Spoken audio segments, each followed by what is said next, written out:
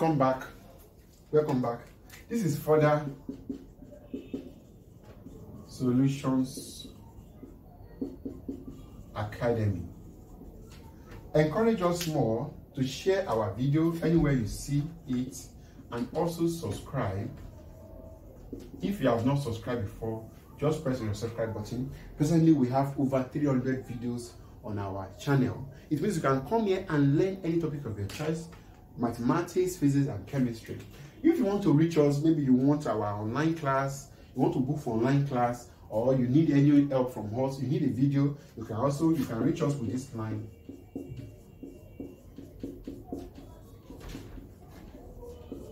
Now with this line you can do three things with it. You can call us you can whatsapp us and telegram is allowed. Okay now in this video i'll be walking you on um, joint variation.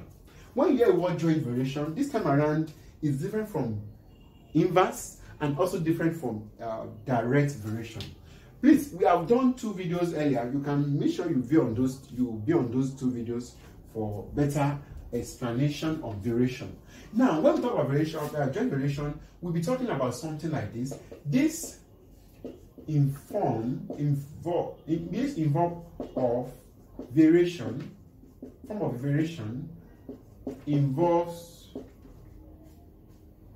three or more variables. These three or more variables that is what um that is joint variation is. It means we are more than we have more than two variables it can it may be three and above. Three and above is what we are going to be working on. Now it means something like this. Will surely come up k can to this to m and um, also k can be to what? To p.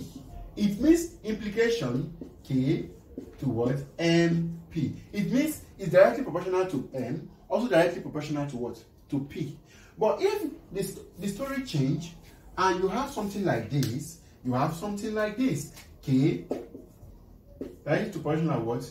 To p or to q. And also k directly proportional to what? 1 all over uh, uh, x. It means by implication k and let me not use Q, let me use um, uh, y or v. Let me use v sorry we are always constant we don't use k as constant. It means is now it means what is here is that v is directly proportional to q and inverse to what? Inverse proportional in varies inverse varies to what? To y.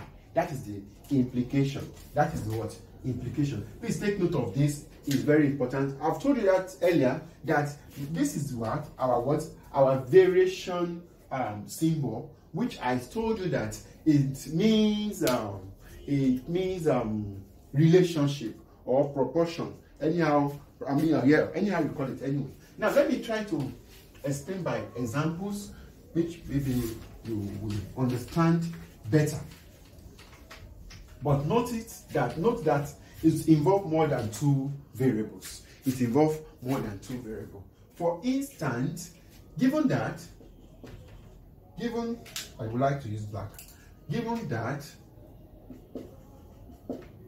p varies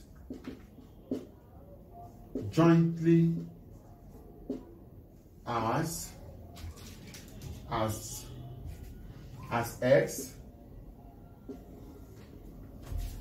and v squared and v squared.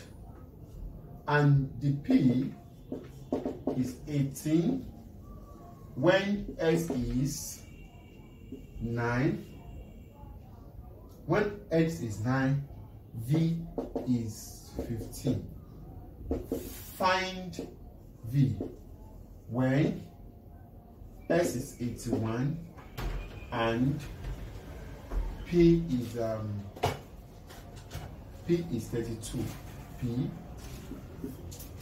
is 32 now we are to work on this particular question given that p varies jointly as x and q and v squared. Okay, and p is 18 when s is this, v is this. Find v when s is 81 and p is 32. p is what? 32. Now, how can I solve this particular problem? Solution to this problem. Solution. Now, solution. What I want you to know there is that this is a joint variation, which you have to understand a word varies jointly. Now, it means I will be having a P, 2, S, and V squared. That is the implication. Now, at this point, I can answer that what? P equals to K S V squared, where K is, the, is called constant. K is called constant. Now, since K is called constant, now what I will now do is that uh, my K will be equals to P divided by X V squared. We all know that this is my P, this is my X, and this is my what? V. It means my K will be equals to what is my my P? My P is okay. My P what is my P? My P is um okay from the question my P is is two. Is it two? Okay, now my P my P is 18. My S is 9 and my V is 15. Please take note of that. That is very important. Now, since I have that, it means I'll be having 18 divided by what is my x is 9 multiplied by 15 squared. This here 1, this here 2. Now my k equals to 2 all over 15 squared. 15 squared also implies 2 all over 225. That is my k. That is my um k. It means the relationship combining them together, it means the relationship will now be what? It will be p equals to ksv squared. It means P equals to 2sv squared divided by 225. That is their relationship. Now, I'm now asked to find V when S equals to 81, P equals to... Now, it means at this point, I will make V the subject. I will make V the subject. It means I will be having V squared equals to um, p multiplied by 225 divided by 2x divided by 2x this is x not 5 sorry. This is 2x now which what is my p and my x my p my x is 81 my p is 32 it means b squared equals to 32 multiplied by 225 divided by um, divided by 2 multiplied by um, 2 multiplied by my s is 81. Now, this here one, here 16. Now, v squared equals to 16 multiplied by 225 divided by 81. Now, I will square root the both sides. v equals to root of 16 multiplied by 225 divided by what? 81. It means v equals to 4 multiplied by 15 divided by 9. Yes, yes, yes. Now, which it means um, 3 here is what? 3. 3 here is 5. Which is I'll be having 12. Which is my V. My V, permit me to write here, my V equals to um, 12 all over 3. 12. Is it 12? 3 yes, yes. I mean, 20 all over 3. Sorry for that. 20 all over 3. 20 divided by 3. Now, since I know which I'll be having, if I divide that number together, my V will be equals to, V will be equals to 6.666, uh, 667, approximately 7. That is my V, value of V. That is my V. Now, before I end this part, let me put, let me try to put one more example let me try to add more one more example to hit so that for better understanding.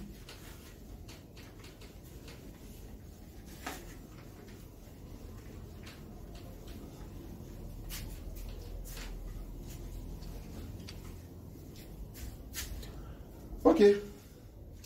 Uh, if let me use back marker. If D varies directly as X and inversely inversely as the square of t.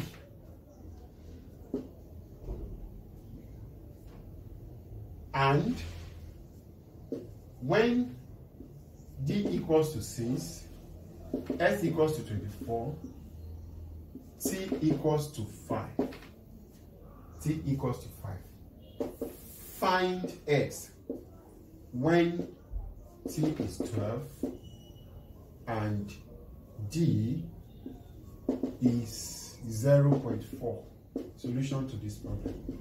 Now this is a very nice question that um, is also straightforward. Now what i need to know here is that there is problem d varies directly and i mean as x and inversely as the what? Square of t now the story have changed. It means d to what? To x that is the first statement. And and um, and d inversely as square square of what? Square of t. That is just the implication. It means by so doing that i can say that my d equals to i mean my d varies to x dot 1 all over t squared. It means my d can be equals to k x all over t squared. K is my constant. K is my constant. Since my k is my constant i can now say that um, okay by so doing that i can now find the relationship. It means i want to find my k. My k will be equals to dt squared divided by x.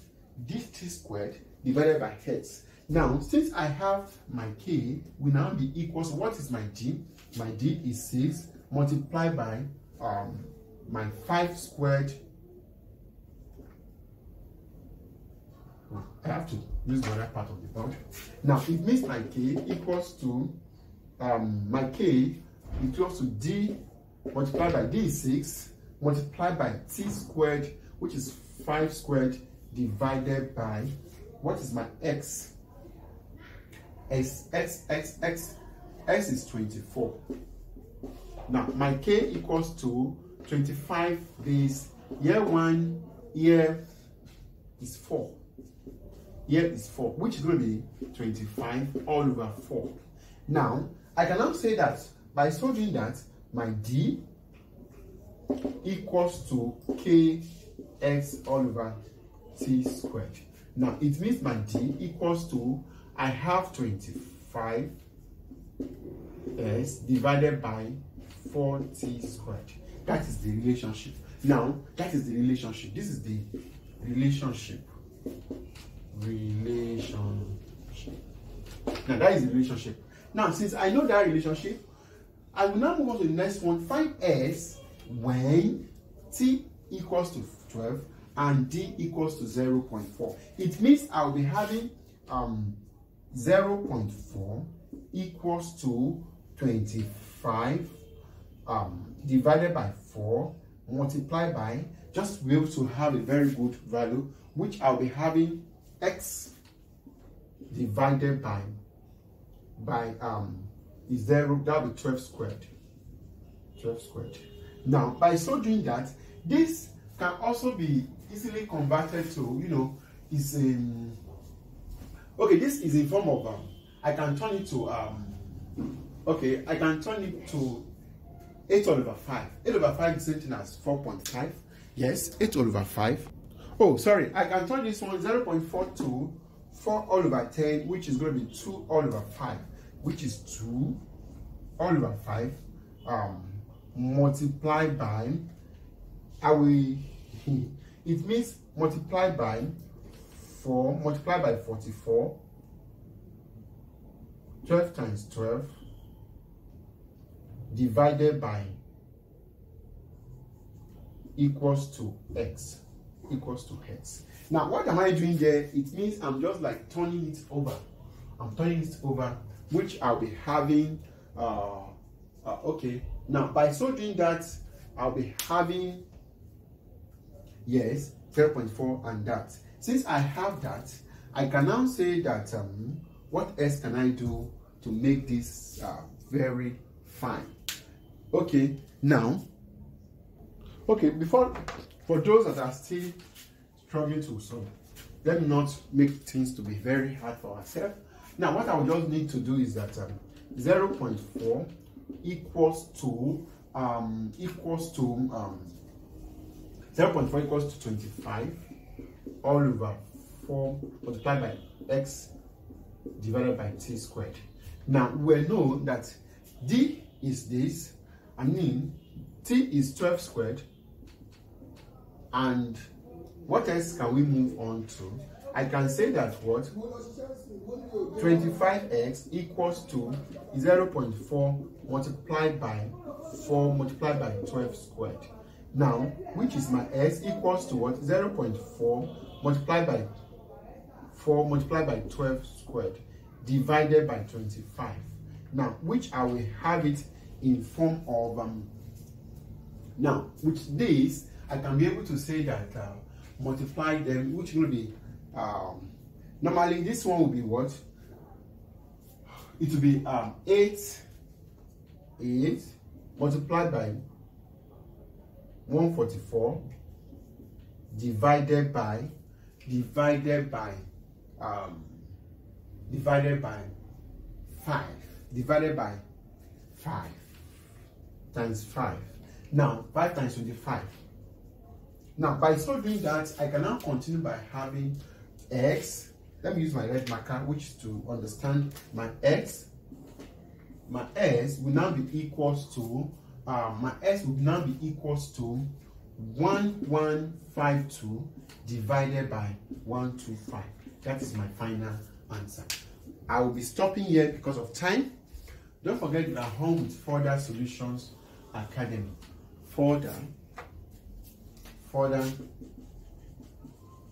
solutions academy encourage us more to share our video and also subscribe if you have not subscribed before just subscribe on it. Once thanks for watching